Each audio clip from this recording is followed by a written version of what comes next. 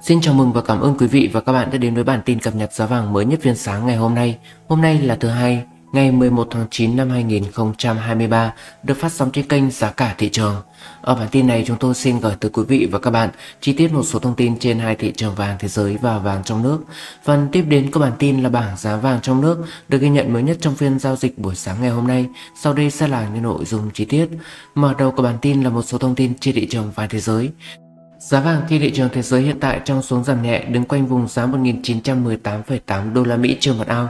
Bên cạnh đó thì chỉ số đồng đô la Mỹ trong xuống giảm giao dịch ở mức 104,9 điểm.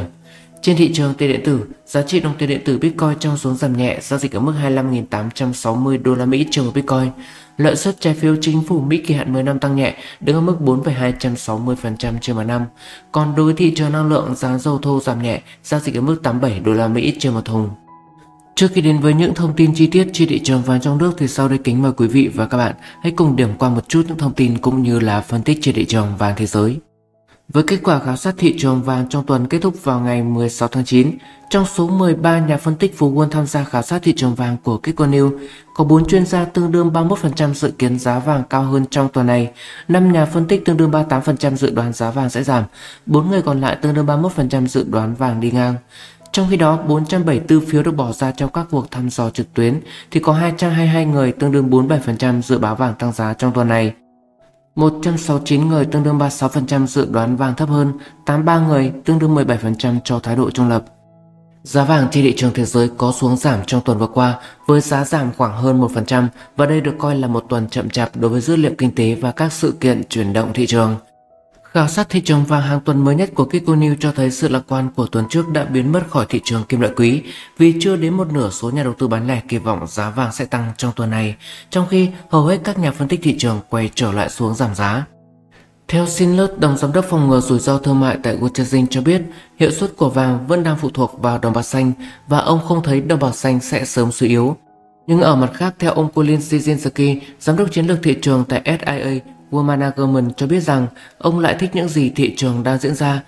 Tôi lạc quan về giá vàng trong tuần tới, các chỉ số kỹ thuật như đường trung bình động 20 ngày và các chỉ báo dao động đi lên cho thấy vàng có thể sẽ phục hồi trong thời gian tới.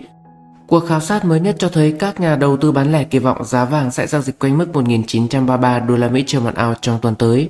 Với dữ liệu kinh tế quan trọng nhất đối với các nhà giao dịch vàng trong tuần tới là CPI và PPI của kinh tế Mỹ trong tháng 8 được công bố lần lượt vào thứ tư và thứ năm.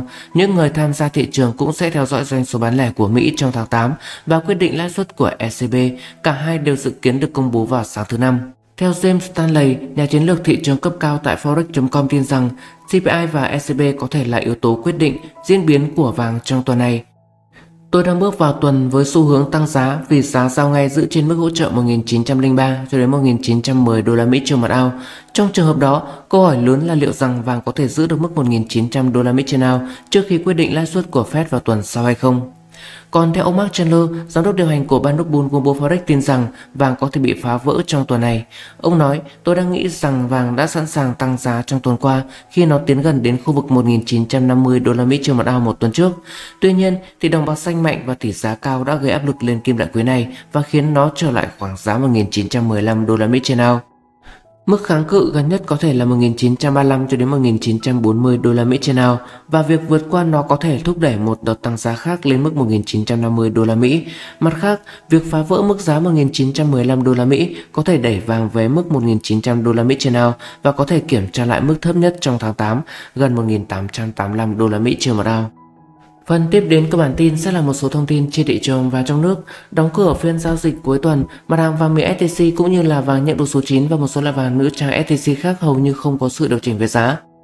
Cụ thể với công ty vàng bạc đá quý Sài Gòn đang niêm yết giá vàng miếng STC trên hai thị trường Hà Nội và Đà Nẵng, mua vào mức 68,10 triệu đồng trên một lượng, bán ra mức 68,82 triệu đồng trên một lượng. Với mặt hàng vàng miếng STC trên thị trường Thành phố Hồ Chí Minh, mua vào mức 68,10 triệu đồng trên một lượng, bán ra mức 68,80 triệu đồng trên một lượng. Như vậy, so với phiên đầu tuần ngày 5 tháng 9, mức giá 67,55 triệu đồng trên lượng theo chiều mua vào, 68,17 triệu đồng trên một lượng bán ra tại hệ thống này. Như vậy là mặt hàng vàng miếng STC của công ty này đã tăng trong khoảng 550.000 đồng trên một lượng ở chiều mua vào và tăng 630.000 đồng trên một lượng tại chiều bán ra. Với mặt hàng vàng nhận buộc số 9 tại công ty vàng bạc đá quý Sài Gòn, đang được mua vào mức 56,10 triệu đồng trên một lượng, bán ra mức 57,10 triệu đồng trên một lượng. Mức giá này áp dụng cho giá nhận bầu số 9 từ 1 cho đến 5 chỉ. Với giá nhận bộ số 9 loại nửa chỉ mua vào mức 56,10 triệu đồng trên một lượng, bán ra mức 57,20 triệu đồng trên một lượng. Đối thị trường tiền tệ, tỷ giá đô la Mỹ các hàng thương mại không có điều chỉnh, được mua vào mức 23.890 đồng trên một đô la Mỹ, bán ra mức 24.260 đồng trên một đô la Mỹ. Giá đô la Mỹ trên thị trường tự do mua vào mức 24.100 đồng trên một đô la Mỹ, bán ra mức 24.180 đồng trên một đô la Mỹ. Để quý vị và các bạn có thể biết rõ hơn về thị trường vàng trong nước trong phiên giao dịch buổi sáng ngày hôm nay, phần cuối cùng của bản tin này là bảng giá vàng chi tiết được ghi nhận mới nhất trong phiên giao dịch hiện tại. Kính mời quý vị và các bạn hãy cùng theo dõi và tham khảo thêm nhé. Đầu tiên sẽ là giá vàng STC tại ba thành phố lớn. STC Hồ Chí Minh từ 1 cho đến 10 lượng mua vào 6 triệu 810 nghìn, bán ra 6 triệu 880 nghìn. Trên lệch giữa chiều mua vào chỉ bán ra hiện tại đang là 700 nghìn đồng trên lượng và đơn vị đo của bảng giá này là triệu đồng trên một chỉ. STC Hà Nội và STC Đà Nẵng mua vào 6 triệu 810 nghìn, bán ra 6 triệu 882 nghìn. PNG Hồ Chí Minh và PNG Hà Nội mua vào 6 triệu 810 nghìn, bán ra 6 triệu 885 nghìn. Doji Hồ Chí Minh mua vào 6 triệu 810 nghìn, bán ra 6 triệu 880 nghìn. Doji Hà Nội mua vào 6 triệu 805 nghìn, bán ra 6 triệu 885 nghìn. Phú Quý SGC mua vào 6 triệu 645 nghìn, bán ra 6 triệu 705 nghìn. Bảo Tín Minh Châu mua vào 6 triệu 815 nghìn, bán ra 6 triệu 878 nghìn. Mi Hồng SGC mua vào 6 triệu 825 nghìn, bán ra 6 triệu 865 nghìn. Tiếp đến là giá vàng STC một số ngân hàng. Ngân hàng Eximbank mua vào 6 triệu 820 nghìn, bán ra 6 triệu 870 nghìn. Ngân hàng SCB mua vào 6 triệu 720 nghìn, bán ra 6 triệu 830 nghìn. Ngân hàng Tây Banh Gold mua vào 6 triệu 805 nghìn, bán ra 6 triệu 885 nghìn.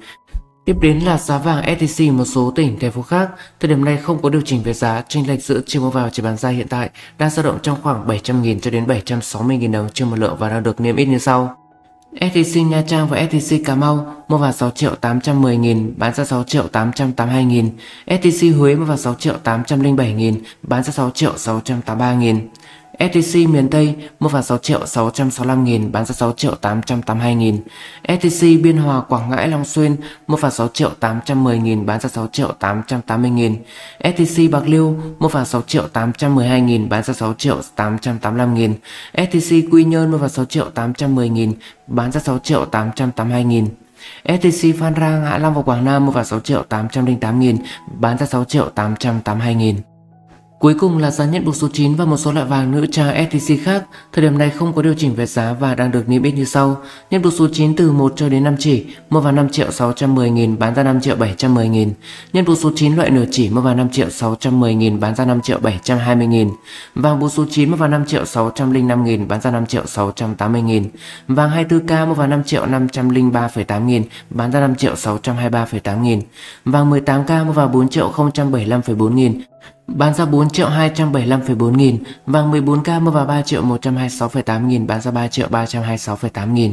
Vàng 10K mua vào 2 triệu 183,8 nghìn, bán ra 2 triệu 383,8 nghìn.